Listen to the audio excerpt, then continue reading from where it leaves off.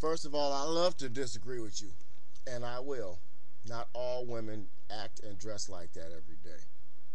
The bottom line is you're perpetuating a stereotype. Most of those pictures I saw in your video are women getting ready to go out to the club or just taking pictures to be trying to look sexy or hot.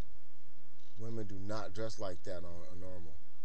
And if they do around you, then they're uneducated and probably stupid young little difference between a girl and a woman. A woman has a certain level of respect for herself that she keeps on, like a pair of clothes. She keeps that level of respect for herself right above the top of her brain. It's the first thing you have to do is respect yourself as a woman, anyone. Not all black women carry themselves like Jackée Harry. They're not all uh, Queen Latifah types. They're not all loud mouth like types. Like remember Woo the Moo Moo? No, they're not like that.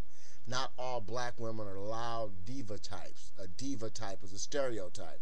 Not all black women carry that flag, baby. You're wrong, Super. You're wrong. Not all black women where I'm from carry themselves like that. Not all black women I've been raised around carry themselves like that.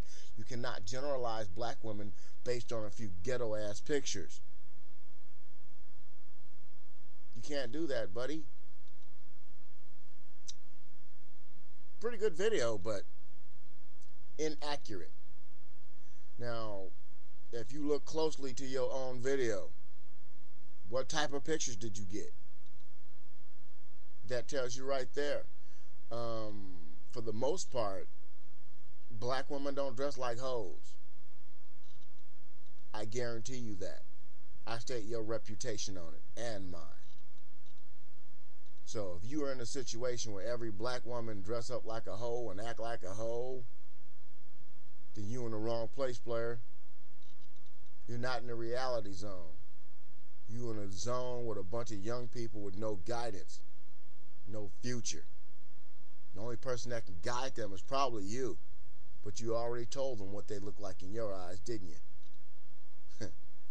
you have a nice day. And remember, you've been tubed.